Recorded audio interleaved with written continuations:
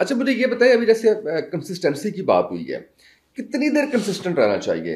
कितनी चले आप, आपकी एक्सपर्टीज बाकी भी प्लेटफॉर्म पे होगी, लेकिन पहले इंस्टा की बात कर लेते हैं कि इंस्टा की अगर बात की जाए तो इंस्टा को कितनी फ़ीड देनी चाहिए रील्स की इन अ डे और आप क्या समझते हैं कि कंसिस्टेंट उसका एल्गोरिदम कब ये ऑब्ज़र्व कर लेता है, या ये मान लेता है कि ये बंदा कंसिस्टेंट है? उसमें महीनों की बात होती है, क्या होता है, ताकि जो नए आने वाले कंटेंट क्रिएटर हैं, उनको भी ज़रा पता चले कि इसका एल्गोरिदम काम कैसे करता है। इनिशियली जब आप कंटेंट बनाना शुरू करते हैं तो तब तो आपको एक अच्छे अरसे के लिए कंसिस्टेंट रहना चाहिए ठीक है? अच्छा अरसा अच्छा अरसा मैं बताता हूँ आपको कि कम से कम आप कह लेंगे डेढ़ से दो महीने आप अपने जहन में रखें कि आप कंसिस्टेंटली वीडियोस डाल रहे हैं। और आप उस दौरान आप नहीं देख रहे कि आपकी वीडियोस को कितनी व्यूअरशिप मिलती है उसको कितने लाइक्स आते हैं कितनी इंगेजमेंट होती है उसके साथ। आप बस कंटेंट डालें एक दफ़ा क्योंकि आप अगर डालना छोड़ देंगे तो आप पुट ऑफ़ हो जाएँगे ज़ाहिर है। और बहुत लोग हो जाते हैं।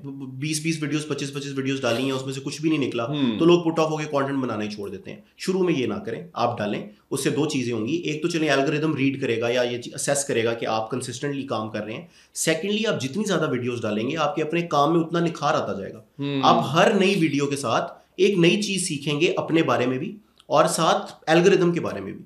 कि मैं किस टाइम पे वीडियो डालता हूँ तो वो एल्गोरिदम कैसे रिएक्ट करता है किस तरह की ऑडियंसेस मेरे वीडियो को ज़्यादा पसंद करती हैं मैं किस तरह का कंटेंट डालता हूँ तो उसको ज़्यादा इंगेजमेंट मिलती है किस तरह का डालता हूँ तो उसको कम इंगेजमेंट मिलती है। तो कंसिस्टेंसी से ना सिर्फ़ ये होता है कि एल्गोरिदम रीड करता है कंसिस्टेंसी से आपके अपने काम में भी निखार आता है हम्म, और वो एक नेचुरल हम्म। प्रोसेस के थ्रू आता है आप नोटिस भी नहीं कर रहे होते वो खुद ब खुद आ रहा होता है। तो हाँ इनिशियली ये जो आपने पूछा सवाल कि इतने टाइम के लिए डेढ़ से दो महीने के लिए आपको कंसिस्टेंट रहना चाहिए। और उसके बाद अगर आपको लग रहा है कि हाँ आपको सक्सेस मिल रही है आपके पास फॉलोअर्स इकट्ठे हो रहे हैं रेगुलर इंगेजमेंट हो रही है आपके पेज के ऊपर तो फिर आप उस फ्रीक्वेंसी को कम कर सकते हैं। लेकिन फिर भी आपने कंसिस्टेंट रहना है। Okay okay. आपने ये नहीं करना। वैसे फ्रीक्वेंसी शुरू में होनी क्या चाहिए? मैं मैं मैं अगर अपना आपको जाती तजुर्बा बताऊँ तो मैंने शायद पहले साठ दिनों के अंदर पचपन से साठ के दरमियान रील्स डाली थी। मैं रोज एक रील डाल रहा था। अच्छा हाँ। ये ज़्यादा भी हो सकती हैं दो तीन रील्स ज़्यादा मैं मैं लोगों को देखता हूँ वो अपने एक फ़ीड के अंदर दिन में तीन तीन रील्स भी डालते हैं। लेकिन मुझे लगता है कि एल्गोरिदम भी ज़्यादा उसको इनकरेज नहीं करता उसकी वजह ये होती है कि आप जब ज़रा स्पैम कर देते हैं ना अपनी फ़ीड हम्म। के ऊपर पोस्ट का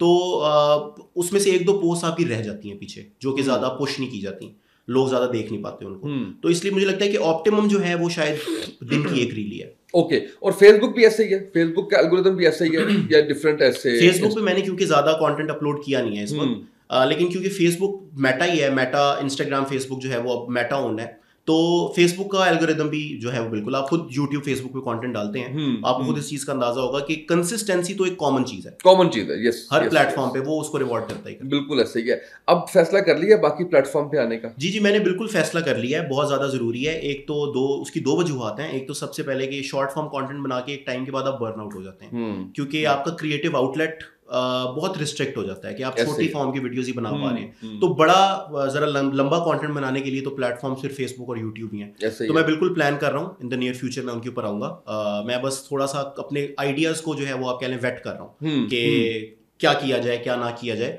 उस प्रोसेस के अंदर है चीज़ें लेकिन मैं ज़रूर उसके ऊपर आगे कंटेंट बनाऊँगा। टिकटॉक पे तो बहुत कम है ना उस पर भी आप हैं सही लेकिन कम बड़ा उस पर टिकटॉक पे मैं ये करता हूँ कि जो मेरी वीडियो इंस्टाग्राम के होती है ऊपर होती है वही वीडियो मेरी टिकटॉक के ऊपर भी पोस्टेड होती है। वो उस पर लेकिन टिकटॉक के ऊपर ऑडियंस बिल्कुल मुख्तलिफ़ है। हम्म। अब इसकी मिसाल मैं आपको ये देता हूँ कि टिकटॉक पे मैंने क्योंकि कॉन्टेंट डालना लेट शुरू किया था तो मेरे टिकटॉक पे जो नंबर ऑफ़ फॉलोअर्स हैं वो इंस्टाग्राम के आधे से भी कम है इस वक्त। हम्म, हम्म। लेकिन रीच जो होती है टिकटॉक के ऊपर वो मेरी इंस्टाग्राम वीडियोस के बराबर होती है। हम्म, मतलब जो वीडियो मेरी इंस्टाग्राम पे एक मिलियन हिट करेगी वो टिकटॉक पे भी करेगी। ओके तो इतनी डाइवर्स और मैसिव ऑडियंस है टिकटॉक